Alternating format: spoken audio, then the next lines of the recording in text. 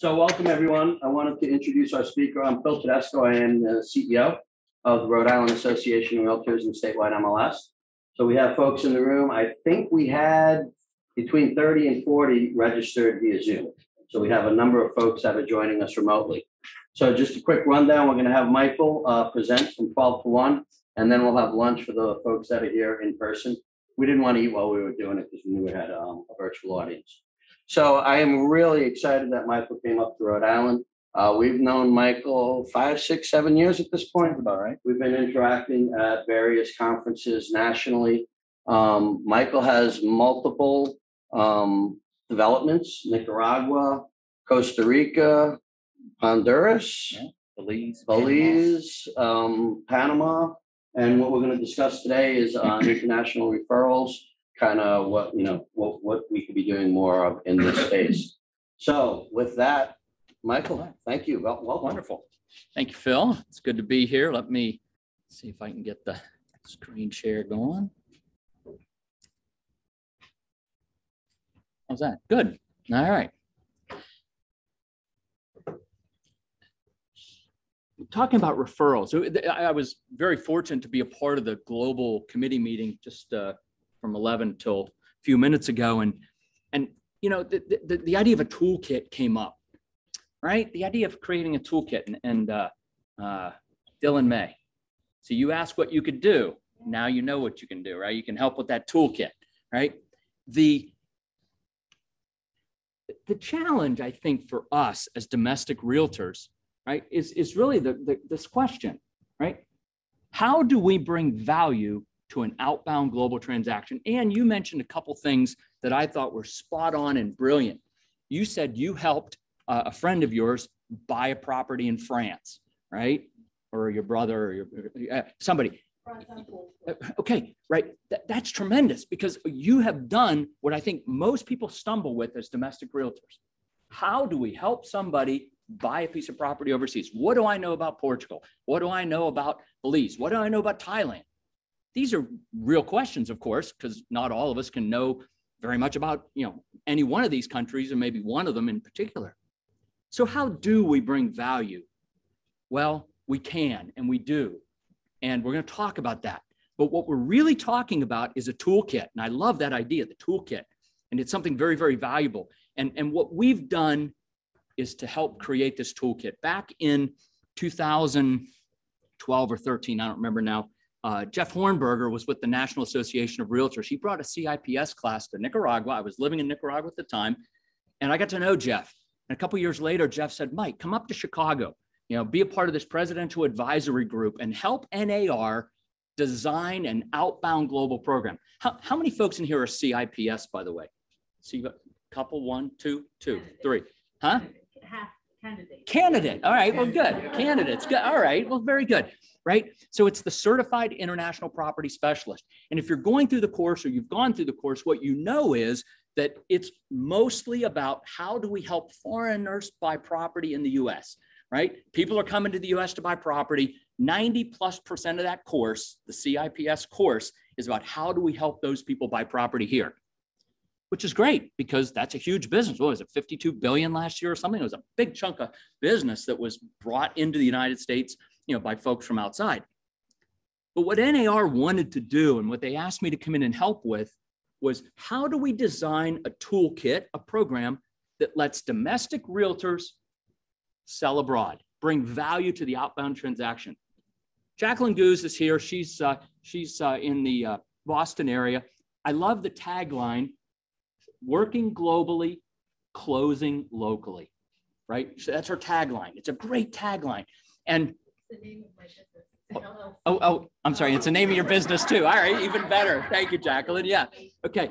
Uh, but but but I think that sums it up for all of us, right? Because if we're looking at if we're looking at international business, global business, we're not going somewhere else to sell a piece of property, are we? No, no, we're doing it here. We're doing it locally, right? But how do we do this global business locally? Yes, a big part of it is inbound there's this outbound piece too. And that's really what we're going to talk about today. The program that I helped the National Association create and the toolkit uh, that came with it. Let's see. Maybe not. Hmm. I might need Robert again. I don't know. We'll see if I can get the slides to click forward. There we go. Okay. Well, that's me. You know me already. Okay. So here's what we're going to talk about today. You know, how do we bring value to this outbound transaction? Why are people buying overseas and who who is buying property overseas? Due diligence questions. This is where we bring the value. This is where the rubber meets the road. We're going to look at some very specific examples on this. Top locations in the region, and then two quick case studies, Portugal and Belize, so that you can really drill down and see in a granular basis what value you can bring to this transaction. So why will you bring value to the transaction? Well, here's the numbers. The Zogby company surveyed 103,000 people, US citizens. That is a huge statistical sampling. What they found was 11.6%. So I call that one in 10. One in 10 US citizens is seriously considering property ownership overseas. One in 10. How many folks, I mean, there may be some other types of folks in here. How many folks are actual realtors here? We have association executive mortgage people too. Okay. And if you've been in the business for any length of time, you've got a client booked. You've listed homes, you've sold homes. Hopefully, you have a network. Hopefully, you have a database of people that you're in communication with. And if that number runs into the hundreds or thousands, do the math one out of 10 one out of 10 of the people you already know and probably have served, right? Many of you served, are interested in property overseas. One out of 10. Okay. So, how will you bring value? Well, first, we have to take the toolkit, right? It's really three things. We have to identify them. We have to identify them because the inverse of one out of 10 is nine out of 10. And nine out of the 10 people that are in your network and you've served could care less about owning a property overseas. They're never going anywhere. Most of them don't even have a passport, right? They're not leaving. They're not vacationing outside the US. So we have to identify the one out of 10. First object. Second object, we have to serve them. We have to bring value to the transaction. And because we're real estate professionals, when we bring value to a transaction, we get paid. That's how we earn our fee for service, right? So those are the three steps. Identification can just simply be this simple. Many, many of the people who utilize this toolkit, all they do is they just, I can't get out of the camera. And all they do is simply put an email signature box. Look at this. This is so simple. Every single email that Myra sends out and several hundred of our realtors send out, every single email, it's got her name and her phone number, blah, blah, blah. And then it just has this super soft call to action if you're looking for property overseas, I can help. Right? So, you know, the nine out of 10 look at that and go, whatever. And the one out of 10 goes, huh, I didn't know Myra was in, could help me with foreign property. Think about that. How would anybody in your network today know that you could help them with a foreign property? How would they know that? They wouldn't. Why would they assume that? They wouldn't assume that. You help them right here in Providence or Rhode Island. So now all of a sudden we're just planting that seed. Yeah. Oh, she can help me or he can help me. Click. Now you've identified that person. Identification. We also put out all kinds of web banners and links. These are tools. This is a whole toolkit that you can request. Banners. But my favorite, and I'm always curious, how many people in here put out a newsletter? One. Man, you're doubling up. That's why I needed a chair. There you go, man. All right. I got one more chocolate for a question later. But anyway, good job. Newsletters help us maintain top of the mind presence with our clients. I'm a big advocate of newsletters. By the way, there are companies out there, communication director, right? There are companies out there that will do your newsletter for you. So I don't know, it's 50 bucks a month or something. It's peanuts. Look for them. They're great. They do a super job. But what we do is we actually provide content to newsletters right? If you have a newsletter, we'll give you articles about Belize or, or Portugal or what's happening in the global environment or whatever it is, right? Real content articles. And again, this is what begins to let your clients know that yes, you can help them with a foreign piece of real estate, right? This is all the identification piece. And how? Sure.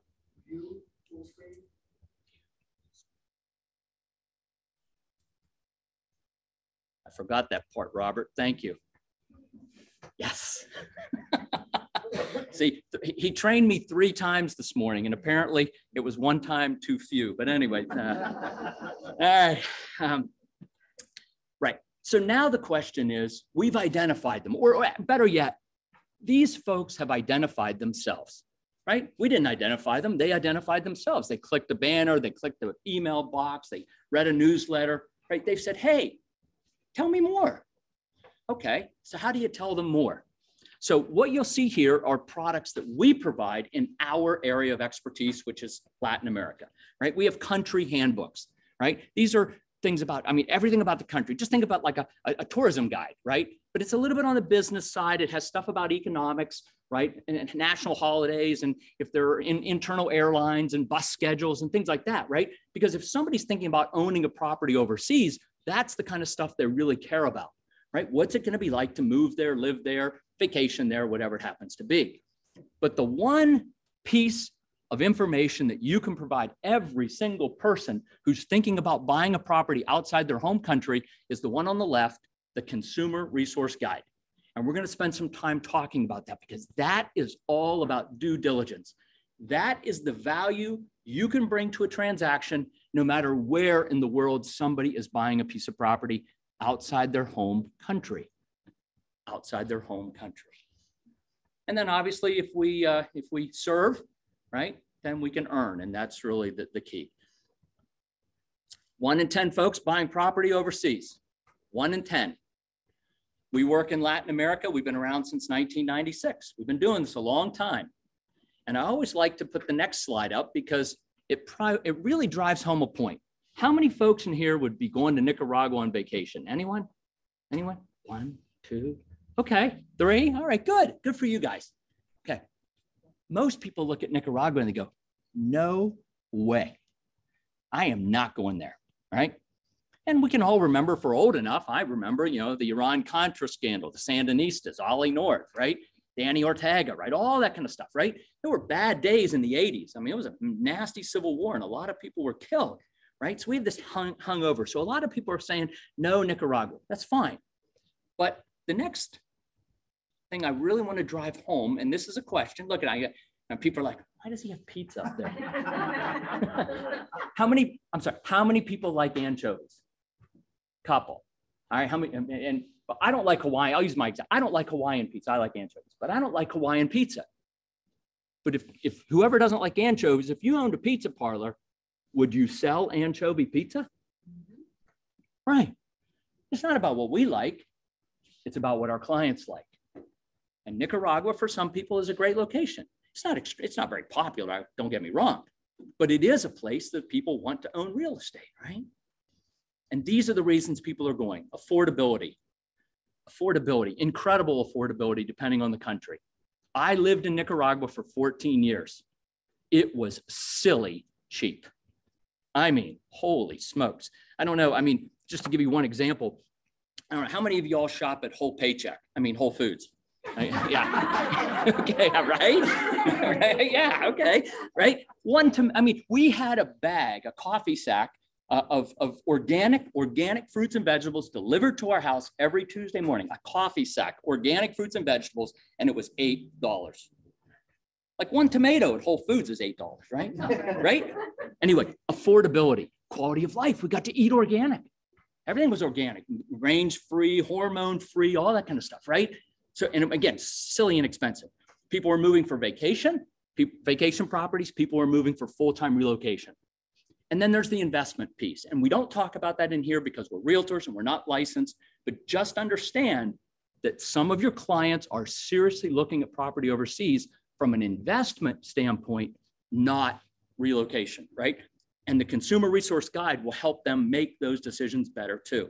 So when we lived in Nicaragua, my wife would have a lady come over and give her a massage in the house, set up a table at the house for $20.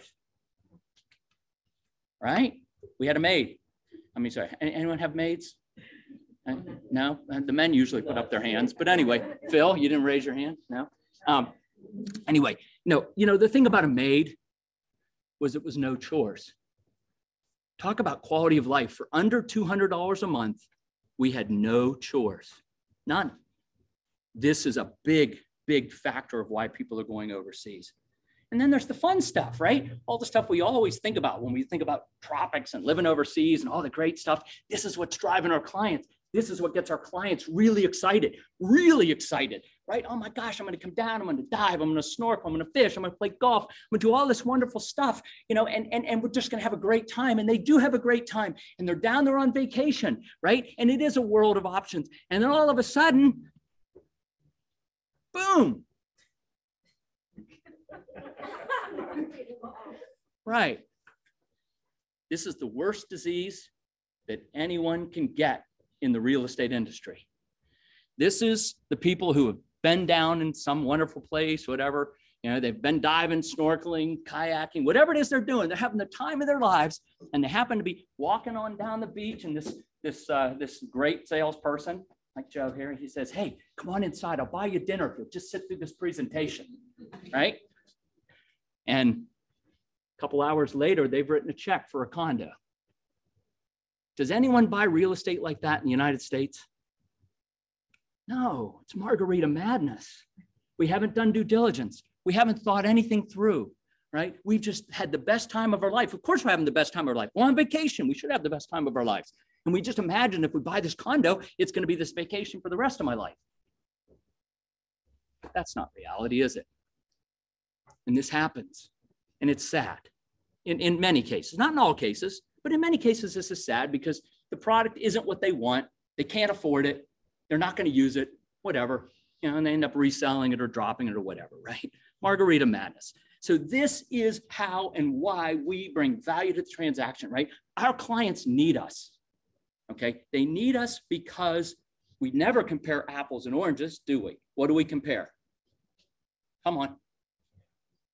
Thank you. All right, apples to apples. But are all apples the same thing? No. And we know that because we're real estate professionals. We're in this business. We understand that nuance is very important, right? We know what to look for when we're helping a client buy a home, right? Oh, yeah, it, it looks like the same house next door, but, but you know what? We need to go check the foundation. We need to see if there's mold over here, right? It's the nuance. All apples aren't the same thing. Three bedroom, two and a half bath, colonial, right? Nuance, really important. And when we bring that expertise, we deserve to earn. And this is where we deliver the value right here.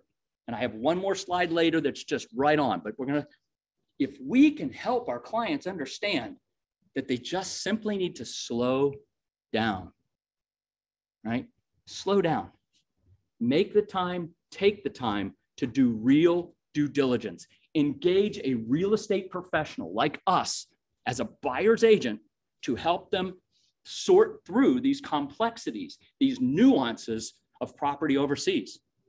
We will have earned our value, right? We will have helped our clients. So important. Proceed slowly because we don't know what we don't know. We don't know what we don't know.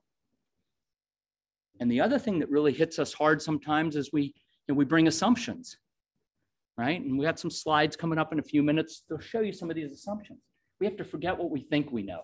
And if you take those two slides, we don't know what we don't know, and we need to forget what we think we know. The synthesis is the word humility, right? When we're humble, we will listen more and talk less. We'll expand our radar screen to catch things that we might not think because we're going to get rid of some assumptions, right? It's a humble way to approach it. So in 2002, this is my wife, Carol, my daughter, Amanda. She was two. We moved to Nicaragua for what we thought would be just a couple years, right? Get down there, start our Gran Pacifica community. And uh, it was in, we moved in October and I had a, a, a PC like this, a laptop PC. And It was a Dell like that. This is a Dell. Okay. So it was a Dell. And so I moved to Nicaragua. How many Spanish speakers in the room? I know, Jacqueline, you speak a few. few. All right. Well, you'll get the joke before I get there. But anyway, so I moved to Nicaragua and uh, yeah. Oh, yeah. Oh, yeah. Um, so, one of our directors of our company was a guy by the name of Ernesto Leal. Ernesto was the chief of staff to the president of Nicaragua, President Bolaños, when I moved there. And Ernesto was getting married between Christmas and New Year's and invited me to his wedding. My wife and daughter went home because they already had plans. And I like, honey, I got to stay here. I got to be at Ernesto's wedding, right? So I go to his wedding And I walk in and I am now seated at a 10 top table with the president of Nicaragua. Wow, that, that's pretty cool stuff. Now, over the course of the evening, it's like a three, four hour wedding. It's long. I mean, it's Latin weddings are long. Anyway, people are coming and going, but like I'm actually sitting like three seats away from the president of Nicaragua. We're talking. Blah, blah, blah, the end of the evening, we trade business cards. He gives me his presidential business card, writes his personal email address. This is so cool. Hand him my card. Oh, so good. I go go home, go into the office on Monday, and I think, you know what? I'm going to send him a Merry Christmas and a Happy New Year. Fel- yeah, Feliz Navidad. We know the song, right? Merry Christmas. Y Feliz Año Nuevo. But I got the I got the N on my keyboard, just like this one, and and the N doesn't have a squiggle over it. Yeah, I don't have an N. I mean, what the N is at this point. I just like an N with a squiggle. Who cares? But instead of wishing the president a Merry Christmas and a Happy New Year, I wish the gentleman a Merry Christmas and a Happy New Anus. Yes, Monica, that's right. Yes, yes. Now, yeah, gracious man, never said a word. Um, it- it- exactly, exactly, exactly. Phil, that's right. But you know, I didn't know what I didn't know. I did not know how important a squiggle over an N was. A squiggle over an N, whatever, right? So I wasn't humble, right? I came with an assumption. How important could it be? Okay. The point is, is it's a silly story, but it really highlights the point that we don't know what we don't know. And, and they really can be things that will trip us up in very serious ways. And we're going to look at that right now. By the way, we ended up in Nicaragua for 14 years, loved it as a family, had a tremendous time there. Um, and, uh, uh, uh, but, but now let's get into the meat of it, right? So this consumer resource guide is the synthesis of 26 years of learning lessons like that one, but other ones that are a lot more serious in the real estate industry. And with these 15 questions that we have, we're going to cover maybe, I don't know, six or seven of them here today. They really boil down to three easy principles buy what you see, own community, and know the developer. If we just keep, if we can help our clients, not us, if we can help our clients keep three simple principles in their mind, they will do far better job of owning real estate, buying real estate anywhere outside their home country. Right? It's not just Latin America. It could be Thailand.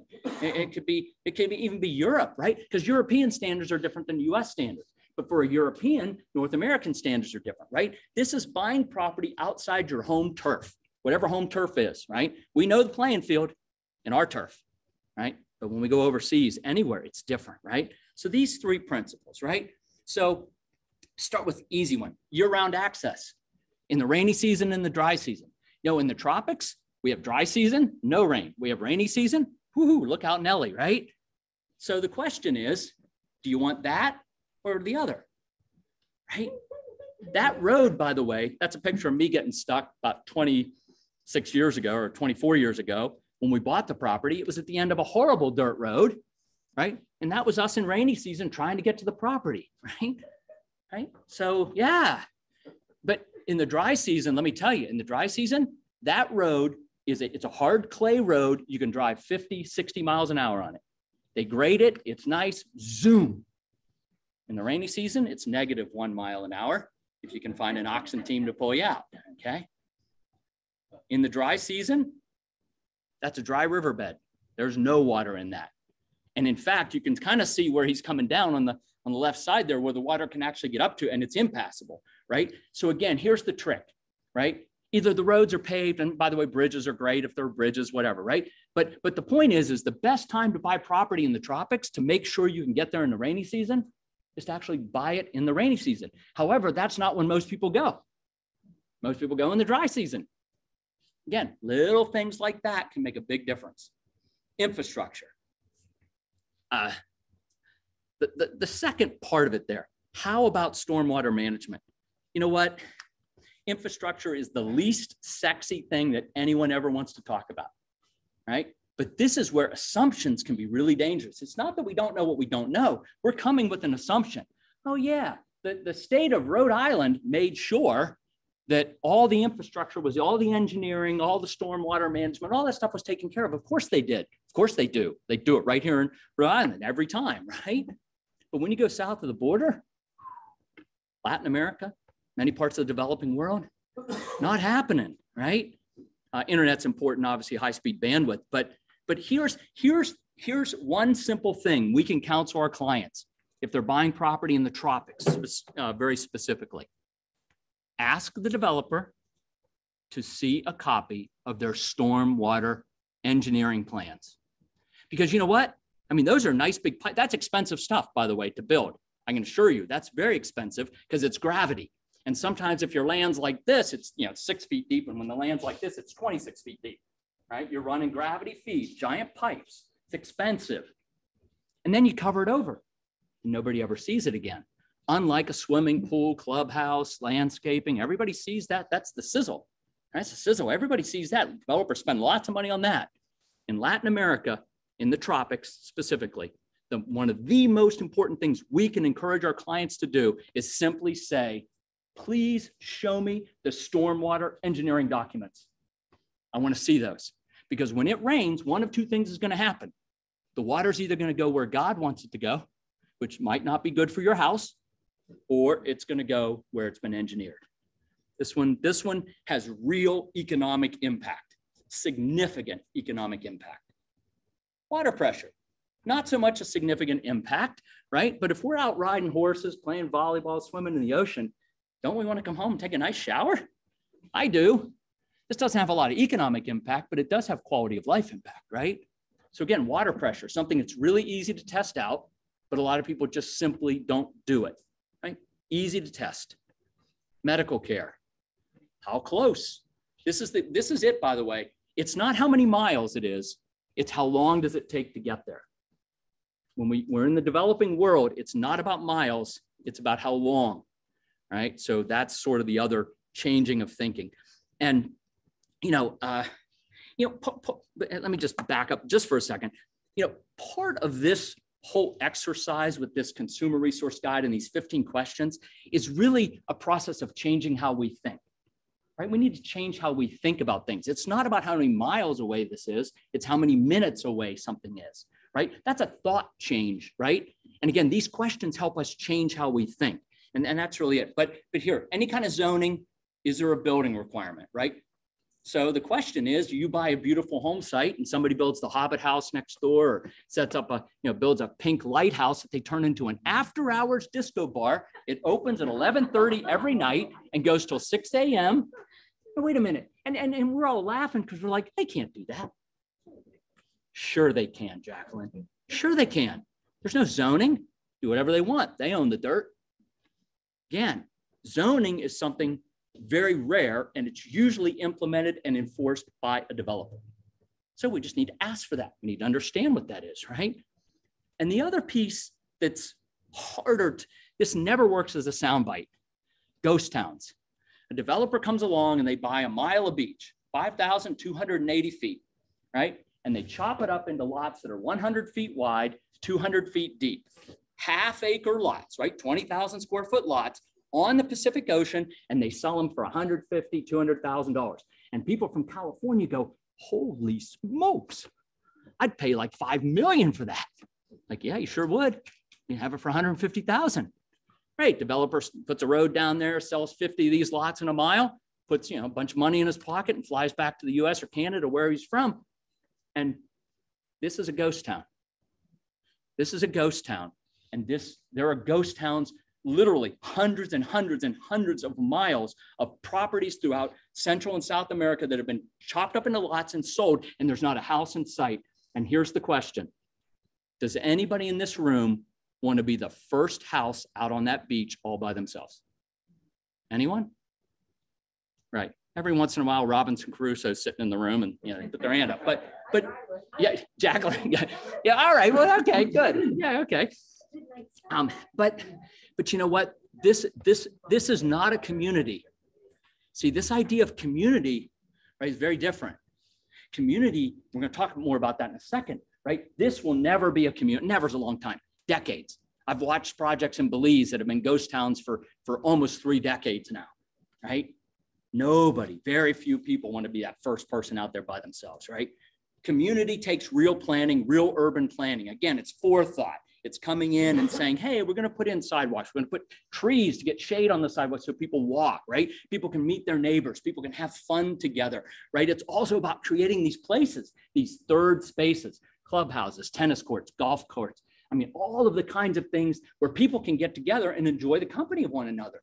It's really important, right? And, and so, it, like a ghost town has no homes, right? So to have community, you got to have homes, condos, you got to have addresses, right? So where somebody can either live or vacation or rent it out because vacationers become part of the community, right? That's part of it, right? You got to be able to get there. We talked about that. The creature comforts, people want those. Uh, and then the amenities, right? And so by creating places that people want to be together, places where they can get together and enjoy the company of one another, we create real community. And community community is, is special because it's about quality of life. But community is also something economic. If we went around this room right now and we asked every person to say what their definition of community is, right? We'd all probably say it a little differently, but we'd all be kind of trying to talk about the same thing, right? This idea of community, right? We all describe it differently, but it's it's it's a concept. But it's very subjective the marketplace objectifies and quantifies this very subjective thing called community in the form of price. In the form of price. When we look at real communities, neighborhoods, you would know them right here in Providence and in Rhode Island. You would know the neighborhoods that people really want to be a part of because it's a great community. They love the neighbors, they love the kids, whatever it is, right? And those prices tend to start higher and stay higher and then there are probably other places that aren't communities, right? And you, yeah, they do okay, but they're just not the same. Community really has intangible and tangible benefits. And when we go overseas as expats, you know, community becomes really, really, really important for most people. And there are lots of ways to get involved, right? I mean, if you can find people to do, you know, beach cleanups and sea turtle and, and pitch in Rotary clubs, Lion clubs, Kiwanis, faith-based organizations, all of these things, right, are part of it. And so when we're looking for a property overseas, when our clients are looking for a property overseas, right, we need to encourage them to dig in, join the Rotary Club, join the Lions Club, right? Get involved, do some things outside the, the neighborhood, so to speak. Because when you do that, you'll meet other people like yourselves who share that common desire to help and do wonderful things, but you'll also meet whoever's in the neighborhood too, which is also awesome, right? This, this is how we really build community and a quality of life that's tremendous. All right, homeowners associations, right? The second one's my favorite though. Are the fees high enough? We're going to look at that right now. We come out of a society and a government, right, that really takes care of us, right? I mean, some people refer to it as a nanny state. I might. I, mean, I think we're lulled into a false sense of security when we go overseas because we're moving from a seller beware environment, consumer laws, lemon laws, regulatory agencies, right? It's really hard. It's not, it's not impossible, but it's really hard for businesses to cheat people in the United States. Right? We have a few examples, Enron, whatever, they, they stand out because they're just so rare, right? So rare. But when you go to Latin America, the developing world, those laws don't exist. You have moved from seller beware to buyer beware wow, wow. Again, we got to change how we think, right? And, and by the way, it, I, I just uh, interviewed uh, this week, earlier this week, uh, Bitcoin Magazine had me on. And then one of the guys, and I asked permission to use it, and I'm going to use it till it dries up. Uh, he said, You've got to have radical personal responsibility. I said, Yeah, you're right. When you decide you want to own property overseas, you need to invoke in your mind radical personal responsibility. And the next few slides drive this home, right? So check out this advertisement.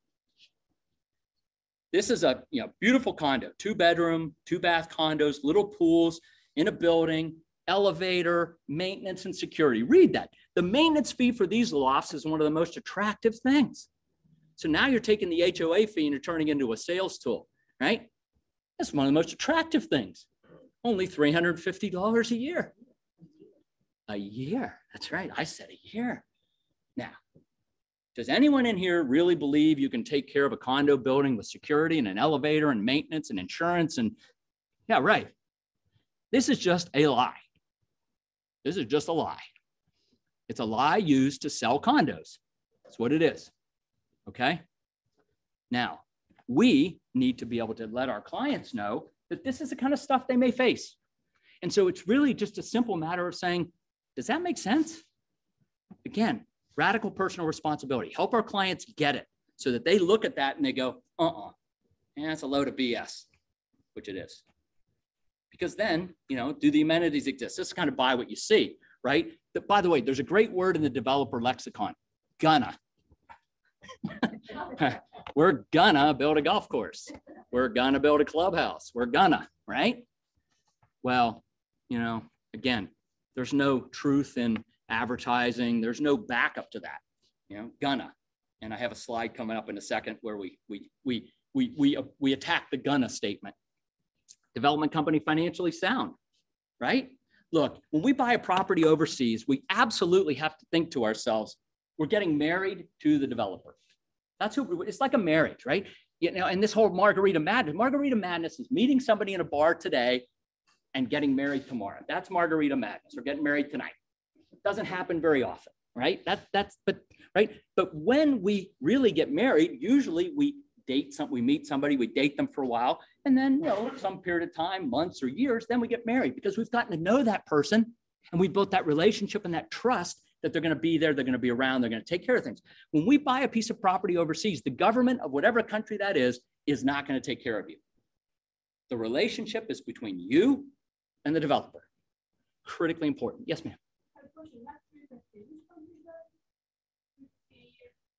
Oh, uh, that one came out of Nicaragua. That one. I'm sorry. The question was what? I'm sorry. The question was what country did the did the condo maintenance fee come out of? 350 a year. Yeah, it was Nicaragua. Go ahead. So I'm just talking from where I come from. So it's actually a right number. That's why they were trying to too. Yeah, 350 a year. Yeah, because it's 350 months that I saw because the rate is so high. So 350 every month. Oh, every month. Yes. Yes, every month. Yes, correct. Every month. No, you say 350 by 12. You know. Yeah. Yeah, yeah. Dollars, Right. My currency, it's 4,200. Okay. So that's to the correct amount of numbers. So then. All right. Maintenance for that is actually the right number. It's 350. So it used to be 250, for example, at home. I'll have somebody to clean the yard. Right. Every time 250 was 200. So now the rate is went up. So it's 350. So- So it is correct. Okay. It sounds as if it's not. Yeah. And and you know what? It, it really can be any number, right? It could be any number, but we, the consumer, must do the math. Yeah. We need to do the math to make sure that it adds up in our heads, right? So it could, it really, you're right. Any number could be the right number, but it's on us as the consumer in a buyer beware environment to do the math and make sure it adds up. But thank you. Yeah. So remember this commercial? Yeah, some of y'all, uh, you- yeah. where's the beef, right? Where's the beef? But this is, this is, this is, this is, this is where we have to change our thinking, right? Gonna. The developer says, I'm gonna build a golf course. Okay, that's four or five million bucks, no problem. Show me the money. We're, what, what month is this? May? Print me April's bank statement and show me right here, five million bucks sitting there. Then I believe you. You're gonna build a golf course. You've got five million dollars in the bank to do it. Right? Show me the money. North American consumers feel shy, maybe. I'm not sure. Or it'd be insulting. Like, what do you don't believe me? No, I really don't believe you. Show me the money. Right? It's okay to say that because nobody's looking out for you but you. Right? This is again how we have to change how we think. Ask for financials. Right? We provide them. We provide them to all our clients who ask. Right? Every last one of them. How about a track record? Right? How about a team? How about a business plan? Right? These are just normal things in the US. You don't start a business without a business plan. Like you can't build condos and developments without a team, right? But that's not necessarily the case overseas, right? So we've been around a long time. We've got a great track record, but we do it all through the region. We have an incredible leadership team. Leadership is critical. So if you're looking at owning a property overseas, make sure you meet not just person A, but find out the depth behind that person, the developer or, the salesperson. Have them walk you around who is in the organization that's going to take care of stuff, and then start counting heads. Oh yeah, there's like four people out here. Oh no, no, there's 34 people. Okay. Now, yeah, I mean, it depends on what it is, right? But you need to again be understanding that it takes real people to put boots on the ground and do things. And it's our responsibility to understand that. So I have one more example. And I hope if there's any doubt in anyone's mind that they can bring value to this outbound transaction, the next slide will absolutely clear it up for you. Okay, my favorite slide because it's the most visual. This is question number four in the Consumer Resource Guide. Is the home or condominium plumbed for hot water in all the bathrooms? Now, I think all of us are going to go, um, uh, duh, yeah, of course it is. So this condo is in Costa Rica, million dollar view, beautiful, three bedroom, three and a half bath, phenomenal condo, really beautiful, beautiful condo. Bathrooms are very nice. I don't remember if it was American or Delta. Nice faucets. The lighting over the mirror was great, right? All right, we got one guy that gets it already. Yeah. Okay. Now, when you went in, the, the master bathroom was good. The master bedroom, master, but the other two off suites, right? The two other suites.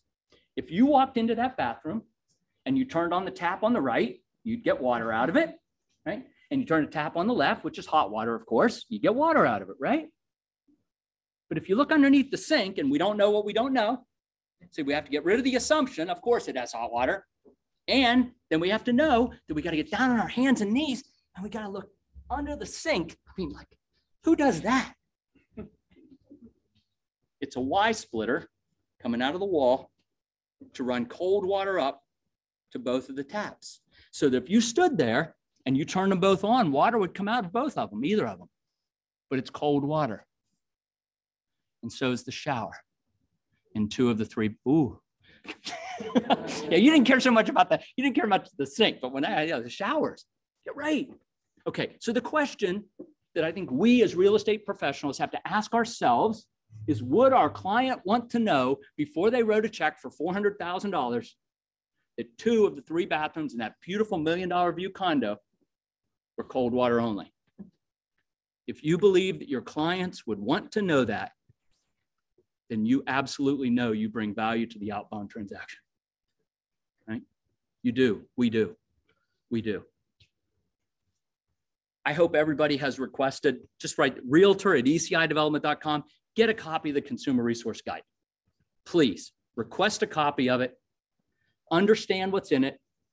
I believe then you will absolutely see in, in very crystal clear clarity that you bring value to this transaction and you can serve your clients in ways that they need to be served. And then with that out of the way, we can actually get to the fun part. Yeah, the margarita madness part, right? Having fun. Owning real estate overseas is fun. It's delightful. I've been doing it for a long time. It's great. I know a lot of people have done it very successfully, right? It's tremendous. There is a world of options.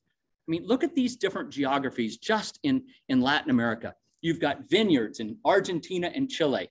Think Denver with vineyards, right? I mean, it's spectacular. So, and by, by, the way, if you go to the bottom middle picture, right, that, that's sort of you know typical Caribbean kind of thing. That's what a lot of people think of when they think of the tropics, right? They think of oh that white sand beach and the palm trees and the blue 16 shades of blue water and all that kind of stuff. Yeah, yeah, yeah, that's a big part of the tropics. But if you go to the upper right, it's an old colonial city, about a 500 year old city in Ecuador called Cuenca. And it's what I like to call springtime all the time. It's 65 degrees at night and 75 degrees in the day every day of the year. It is springtime all the time. And it's a beautiful old colonial city with two symphony orchestras. It's a spectacular location. About 5,000 uh, expats live there in a city of about 500,000. About 1% of the population is expat, right? Now, if you said, you know, that's really cool, but I'm not so much an old city person. I like modern new cities. Medellin, Colombia. Medellin, Colombia, a wonderful modern city right? In the tropical highlands. Again, you can kind of mix and match. How about Cabo San Lucas? Some people said, I love Phoenix, but I really like the beach. You can have Phoenix at the beach at Cabo San Lucas. You have desert at the beach. right? And you can really, and if you said, hey, I want an old colonial city that's a little more, more like Miami, a little more, you know, not so dry, Cartagena, Colombia, or a modern city at the, in that kind of environment, Panama City, right? So you can mix and match almost all of these different geographies and urban and rural and right to really create the perfect location. And what these, what the consumer resource guide does, it's got some expanded sections beyond the 15 questions, is we help people move into this thought process of what kind of weather do I like? Do I want to live in a city? Ah, I want to live in an old city or a new city, right? Do I live at the beach? Do I want to live on the Caribbean? Do I want to live in the Atlantic? Or do I want to live on the Pacific? Because beach is like a lot of different things, right? Again, this whole idea of all apples aren't the same. And so when we can give our clients these kinds of resources to be able to start this analysis process, they can really zero in on what's really perfect for them. How awesome is that? How awesome is that? Who did we? Coming, coming, Ogden. Yeah. All right. So this idea of uh, uh, uh, of of lots of geographies, lots of ways to mix and match it, and people are buying property all over the world. It's not just Latin America, really. In fact, one of the toolkits I think I can't remember. Somebody was saying it uh, earlier was you know how do we make it? It was you. That's right. How do we make a good referral? How can we be sure that when we make a referral, it's a good one. NAR publishes a list of all CIPS agents around the world, certified international property specialist in whatever, 75 countries around the world. And you know what? I'm, I'm pretty comfortable making a referral to a CIPS agent in France, in Argentina, in Thailand, in Korea, because you know what? They've gone through a process. They have agreed to abide by the National Association's Code of Ethics. That's important. So when we're making those outbound referrals, I highly suggest that CIPS network because you really highest degree of probability you're going to make a referral to somebody who will take great care of your client. And that's really what we want. So let's talk about two quick case studies. I gotta, we're gonna talk about Portugal for a minute. I'm an island girl, so that I- an entirely different thing. Well, it's it it it's coming. It's coming. So why Portugal? Um, I, I- obviously, one of the things that's been driving a lot of uh, immigration to Portugal recently is this golden visa. It's gotten a lot of people excited because it's a very easy way to get European Union residency that leads to citizenship. Right, three hundred fifty thousand euros. So it's it's somewhat affordable, I guess.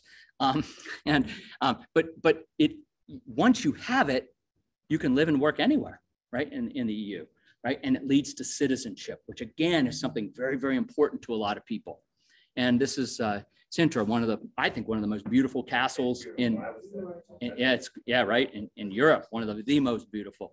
Um, but we're going to go to the islands here. We're going to go to the Azores. I, I know. so a lot of people are like, where are the Azores? All right. Well, anyway, there they are, that little red dot uh, out, out on, two thirds of the way across to, uh, uh, to Portugal. And it's a beautiful little island, San Miguel. Idea from, from San Miguel, I guess, oh, you are too? Yes. All right. Well, it's just a couple pictures. I mean, people don't really understand how beautiful and how green it is. It is spectacular, right? These are some, just some great photos. Look it up and get, go visit. I mean, you better go visit sometime.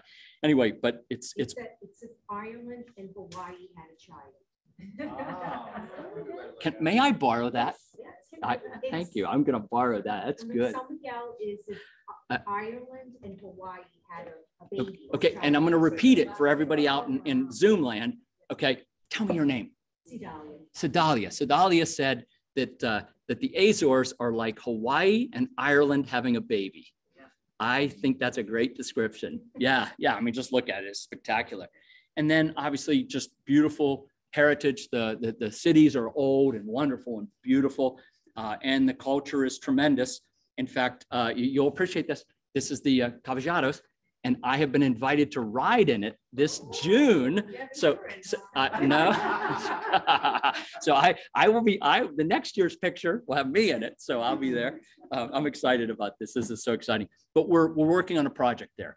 So we were able to find a villa uh, that has uh, been lovingly restored. It was started in in uh, 1697, finished in 1850. It's been operating as a bed and breakfast for about 30 years by a German couple. They're retiring.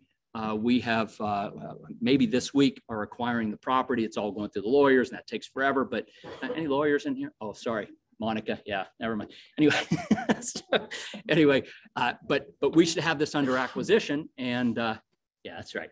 Anyway, so th- there are incredible opportunities. And, and let me just say, I'm not going to talk about the price, but let me just say that the price of this property was so incre- incredibly affordable, right? And homes, single family homes. So somebody, one of your clients looking to live, you know, in, in the baby of Hawaii and Ireland, I really like that. Uh, you know, living on a beautiful island uh, is, it's very, very affordable. And the other thing is because Portugal wants people to stay in the Azores and not leave like you two did. Um, sorry, picking on you now. Uh, they, they do a great job of subsidizing uh, food and fuel costs. Uh, and so things are actually less expensive in the Azores than they are in Portugal. And I have, if I may, so my parents Please. own uh, eight parcels of land. However, they sold all the waterfront land because uh, with the salt, it wasn't really conducive for, uh, you know, uh, agriculture. And I recall I returned to the Azores for a year when I was twenty, a lot of Swedes and Germans, you know, backpacking through Europe. Oh, I can buy waterfront property for next to nothing and built these mansions with tall walls. And it's incredible because they, they knew the value early on before we did, right? Yeah. So, no, it's an incredible place to, to live and visit. um, It is. so- Well, we're excited to be uh, doing business there now. So yeah. Um, And then I just want to do a quick case study on Belize as well. This is, this has been uh, for us, our, our heartland. We started there uh, 26 years ago and have been working there ever since. Uh, And, and, and one of the things that, again, that, that's important, again, we're not going to talk about investment, but I think one of the things that's, that's critically important for our clients who are thinking about investment is to understand where a country is on a development curve, right? Or as I like to call the popularity curve, right? So when you look at this, th- this is simply, I said to myself, as I put the different countries on here, I said, if somebody got married here in Providence, Rhode Island tomorrow, or Saturday, where are they going on their honeymoon next week? Right? Where are they going on their honeymoon? Cancun, lots of them, right? El Salvador, Honduras, Nicaragua, not many of them, right? And Belize, somewhere in the middle. This is important because our investors need to understand that while they might love, say, Nicaragua, right? They just personally love it, right?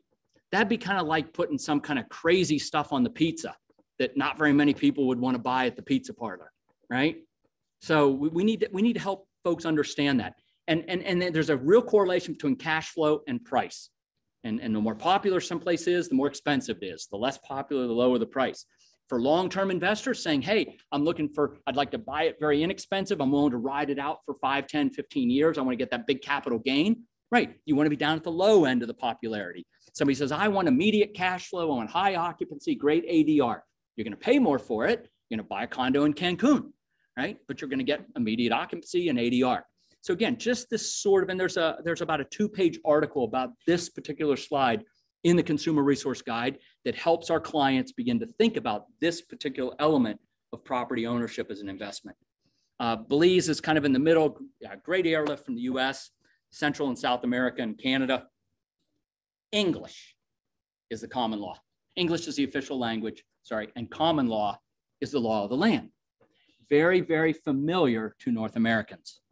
Very familiar. Uh, common law, English, obviously familiar as well. no Enyes in English. Um, yeah. Uh, great, great, yeah. All right. Yeah. Uh, and great residency programs. A lot of folks uh, looking to live overseas, pick up a second residency. I call it the Plan B, right? For a variety of reasons. Uh, our business uh, went up fivefold from 2019. Our business grew fivefold in two years. And I'm going to venture a guess that two thirds to three quarters of those folks were Plan B buyers. Remote workers, right? Digital nomads who said, you know what, I can live in Belize, Nicaragua, you know, I can move overseas and I can do my job from somewhere else. But a lot of them just said simply, you know what, I'm going to buy a home overseas in case I want to go there someday. Plan B, right? And uh, th- there are a lot of folks out there thinking of that. So residency programs are really important for that aspect. Um, Belize, strong economy, growing tourism. Uh, just it's been ranked by TripAdvisor Uh, obviously, you can see the fall off in 2020, COVID, whatever, right? Things fell off, but but again, climbing back up again. Um, and, and Belize is an incredible country. It's, it's very small. It's 180 miles north to south, about 80 miles wide, but it's got reefs, it's got uh, jungles, it's got cave tubing. Well, actually, one of the top 10 coolest things I've ever done in my life is float through caves on an inner tube. if you ever go to Belize, I know Phil, you're headed there, uh, make sure you go cave tubing. Oh my gosh, floating through caves on an inner tube. So cool. Uh, Mayan ruins, jungle, great activities. Uh, and then you get out to the island, tons of, uh, just tons of character and, and wonderful uh, people and activities out on Ambergris Caye. Again, it's, it's, it's, a, it's a Caribbean destination. So, uh, uh, and, and then for our investors, again, this is really important, and, and we, we, we talk a little bit about it in our consumer resource guide. This goes to the, no, uh, the, the notion of location, location, location, right? Right? Belize is, a lot of times people think Belize, but again, we're going to thin slice it, right? Well, what is Belize? Well, it's a country this big, 180 by 80. But if you look and see where the tourism revenue, again, for investors, like you might say, look, if it's a light, there are two different things. I'm running out of time and I'm going to wrap it up real quick because I know people are getting hungry. But but there are two types of decisions that we make as property buyers. We make a lifestyle decision, which is a heart decision. Do I like it? Do I like my neighbors, my neighborhood? Is it close enough to the grocery store or the bank or whatever, the school, right? Versus an investment decision, which is a head decision. Does it cash flow? What are the terms and conditions? You know, more rational, right? Two very different types of decisions. And if our clients understand that they want to live in Belize because they want to live in Belize, well, then the whole country's their oyster, right? They live in the jungle, they can live, with, you know. But if somebody is an investor buyer, right, they need to pay attention to where most of the tourism revenue, most of the occupancy, right? 70% of all the tourism revenue comes from that little island off the coast called Ambergris Caye, 26 miles long, couple miles wide. Almost all tourism revenue for the country. People are going to Belize for low taxes, rental income opportunities. We actually have a Best Western franchise. This, this capitalizes on this notion of in the middle right? A country is becoming more and more popular. What happens when a country becomes popular? You move from niche, like the Mike Cobb Hotel. Nobody went, I mean, back in the day when I went there 26 years ago, we had the Mike Cobb Hotel. It's called the Exotic Caye Beach Resort, right? No, no brand, no nothing. And people who came, they were either serious fishermen or serious divers. There were almost no women and um, very few women and almost no children. It was mostly a diving and fishing destination and they didn't care where they stayed. Oh, great, exotic Caye beach resort, full stay there, right? But as the country becomes more popular and moves up this popularity curve, all of a sudden you get mainstream travelers, right? You get people who go, I'm going to Belize, but you know what?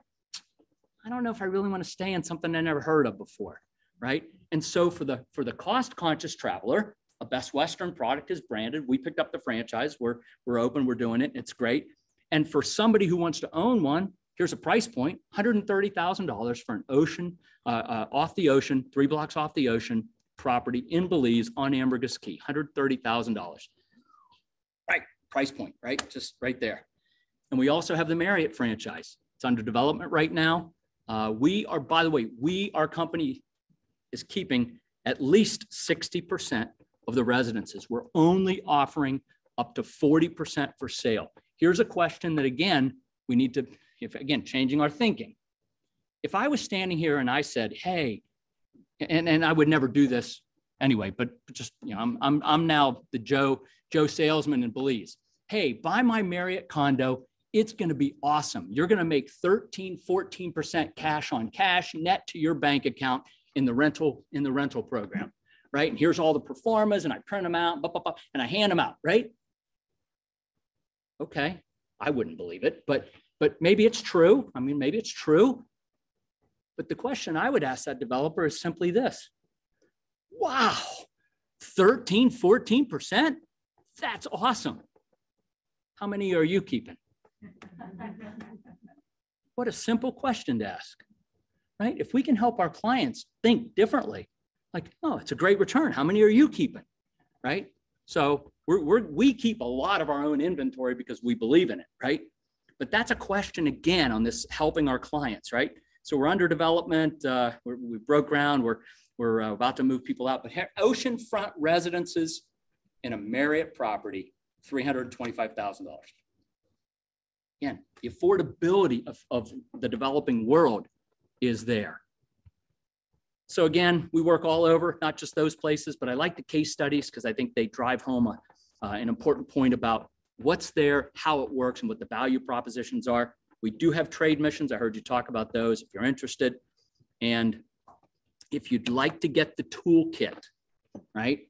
The web banners, the email signature box, right? Again, Shanae, who's on this call with us, right? That's what she does. She works with all of our affiliates. I think we have about seven, 800 affiliate, Realtor affiliates now um, who utilize this toolkit, whether it's just simply the email. By the way, that email signature thing is push and forget. It's the easy button. Take 15 minutes with Shanae and set it up. Every single email you send out now is set up, right? And you can literally do nothing else. It is simply that easy. If you say, I want to be a little more active, I want to put up some web banners on Facebook, I want to publish a newsletter, I want to put some articles, I want to engage it, we have the tools to help you do that too. Uh, the program costs nothing. And here's the really cool thing. Of, of the you know millions of transactions that have, are occurring around the world, right? There are about eight, by the way, there are 8 million US and Canadians that live outside the US right now. 8 million real estate transactions of people who live outside the US, right? And Canada, right? Our company is going to get a very tiny percentage of that. I get it, 0.001% of it, right? We built this program to be generic. The toolkit, I can help. If you're looking for property overseas, I can help. See, when somebody clicks that, if they say, I like Belize, here's my, here's my request. If somebody says, I like that tropical palm tree, you know, blah, blah, blah. Belize, great. Please let us have a chance at that business. Please. Yeah, at least let us have a shot at it. But on the other hand, they go, you know what? I've always wanted an apartment in Paris. No problem. Now you know who they are. They've identified themselves. They've told you, or they've told us, and we'll tell you. Now you can get on the phone to that CIPS agent in Paris, France, and go, hey, Mr. and Mrs. Johnson have been a great client of mine for many years. They want a home in Paris. Will you please help them? And you work out a, a fee arrangement with that CIPS agent. We get nothing from it. Our company gets nothing from it, right? Except the most important thing, which is your client becomes a very, very happy property owner overseas and writes all their friends about what a great experience it was, uh, puts it on Facebook and tells wonderful stories. And that helps everybody, including us. So the toolkit's there, it's generic, it's free. We'd love to have you involved. Uh, that's how you get a hold of us. And I'm done, I Phil. have, I have a quick question in terms of financing, because obviously we are, the we want to be the resource Yes. to the source, right?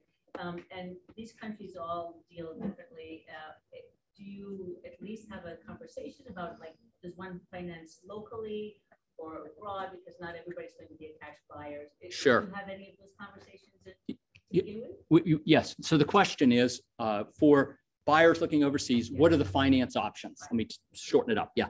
Um, The, the answer is there's not a lot of financing overseas. Th- There's not. I mean, in, in Europe there is, and, and even in Mexico, there's some. But you get outside of Europe, Mexico, Canada, uh, the, the financing opportunities really dry up.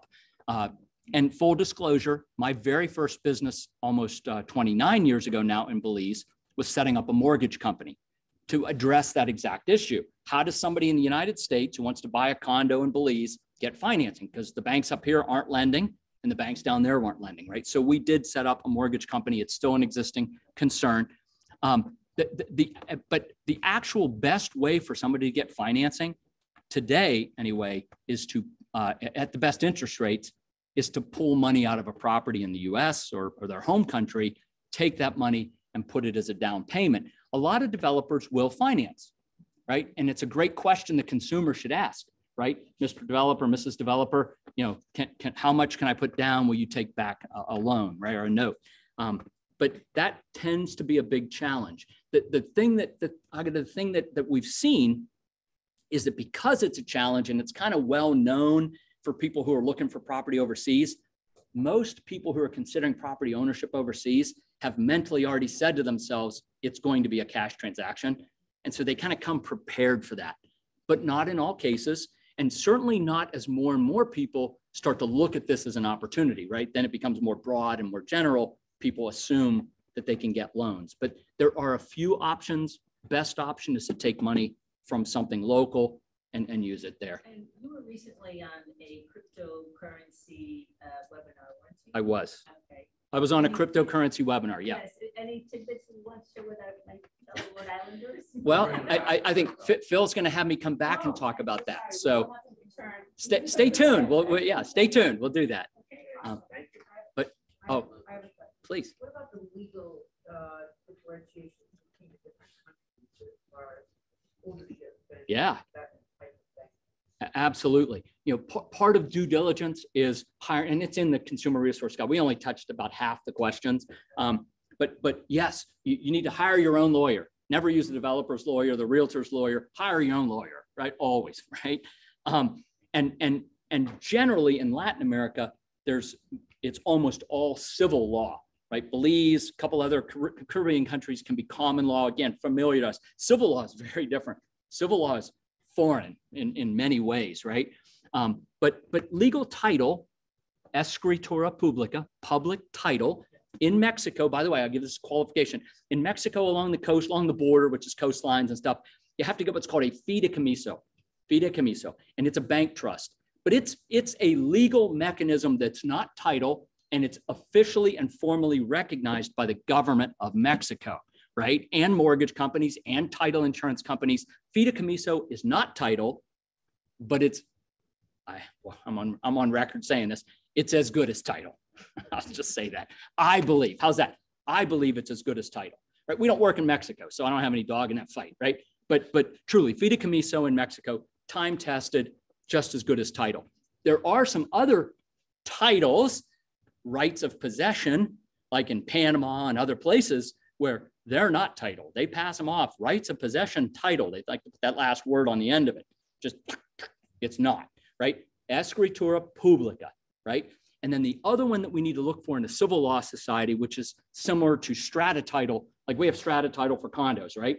In civil law, that's what's called horizontal property regime, right? It's the civil law equivalent equivalent of, of strata title. So again, these are the kinds of things that are fleshed out in the consumer resource guide that consumers absolutely will be able to look at and, and understand. But, but the most important thing, get your own lawyer. Yeah. Wonderful. Thank you, Michael. Thank you, Phil. All right. Thank you, guys.